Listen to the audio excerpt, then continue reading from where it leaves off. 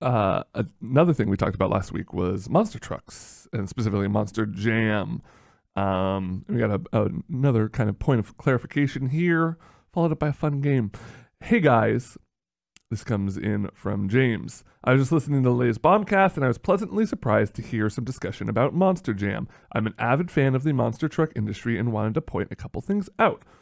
Uh, I was uh, kind of irate after going to a Monster Jam show that there was no uh, car crushing Okay, yeah, involved. yeah. Um, and so the the emailer here says Monster Jam put out an announcement last year regarding the removal of crush cars at their shows and chalked this up to increasing the safety of both competitors and fans. Other discussions have been uh, other discussions online regarding this and other issues come up is the increased cost of acquiring the junk vehicles from salvage yards, as well as the quality of ve- vehicles avail- hmm, excuse me, as well as the quality of vehicles available for use.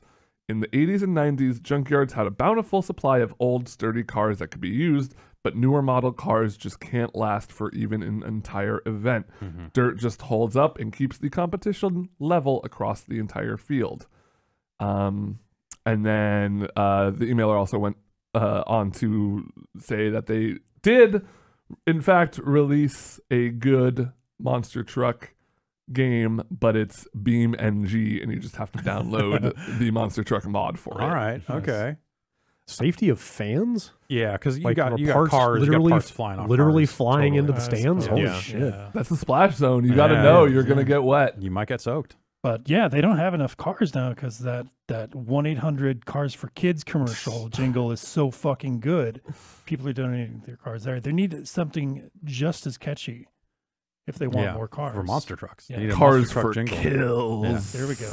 This is something that is going to continue to impact the demolition derby industry as well. Oh, I'm sure. The availability of old metal cars, Yeah. big say, fucking sturdy ass. Probably too much plastic and Yeah.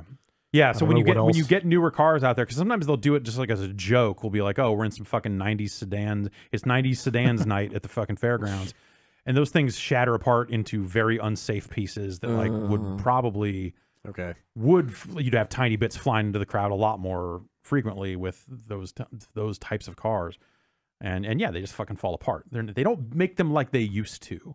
It's not to say they're not safe, but like it's just it's different stuff now, and yeah, that's That was a that was a speci- specific point of contention at the robot place I worked at. We needed to destroy a Prius because it was much easier to smash up and make it look like it got crunched up by a big robot than using like an old muscle car Yeah. or like Huh. an old Chevy or whatever. It's like, oh yeah, I'll just crumple. It's fine. Yeah. Crumple zones. All right. Speaking, keeping on the monster truck Can I can I just say something real quick? That I think Crumple Stiltskin would be a pretty good Pretty good monster truck name. That'd be a I pretty like good it. monster Okay. truck I like it. name. Okay, I just want to throw that out there. You. Well, But if Brad, I'm glad you're thinking of good monster truck names because I have here a quiz. Oh. This is from an emailer who signs off as owner of a Gravedigger shirt in uh, is MN Minneapolis, Min- Yes, Yeah, Minnesota. Minnesota. Minnesota. Owner of a Gravedigger shirt in Minnesota. Here's a quiz inspired by last week's conversation. My wife scored a five out of ten. This is Monster Truck or Power Rangers Monster. So Oh is- shit. yeah, I know. Jan's Jan's the one to beat on this one. Okay. Um, so here we go. There's ten of them. Number one, Mighty Minotaur. I can't. I can't Monster answer. truck. Yeah, I'm Truck. truck. truck. Truck. I'm gonna say Power Ranger monster. Power Ranger monster. It is a Power Ranger monster. Oh wow. Shell Shock. Power Ranger. Power Ranger. Monster truck. Truck. Ranger. Oh, I would have figured they would have stayed away from The such a Ninja like, Turtles yeah, affiliated yeah, phrase. Uh, Raminator. Truck. Truck. Truck. Truck. Truck. Jaws of Destruction. Truck. Truck. Truck. It sounds like a Power Ranger weapon. It's Power Rangers. Yeah. Oh, All right. Bakugan Dragonoid. Wow. Truck. yeah, that's definitely. Yeah, It's a truck. that's my new favorite truck. El Toro Loco Ice. That's a truck. Has to be a That's truck. got to be a truck. Oh. Mm, this sounds like it was from the Wild Force season. I'm gonna say Power Rangers just cause. It's a truck. Okay. Uh, one of three trucks with a non-English title, driven by a right a white dude that I saw at that thing. All right, we got Hotsy.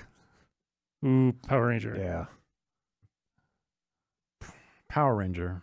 How do they spell hot C? H O T S Y. Oh, yeah. Truck.